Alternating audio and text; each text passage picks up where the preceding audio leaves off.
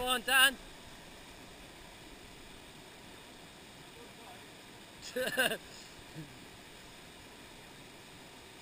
yeah! You got it.